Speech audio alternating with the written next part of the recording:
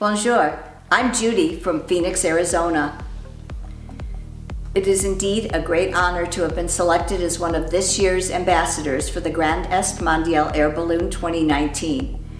We will be celebrating 30 years of the festival at Chambley this summer, and it is also a celebration of where I first met my good friend Hubert van Tal from the Netherlands. We met at Fraternity 89, and together now we have attended 10 of these festivals. I absolutely love flying over the gorgeous fields of France. If you're lucky, you fly over fields of sunflowers to capture your balloon's shadow. 1999 was a very special year of the event because we were witnesses to a total solar eclipse during the balloon event. This summer, I really look forward to returning, meeting new friends, seeing old friends, and just enjoying this gorgeous Lorraine countryside.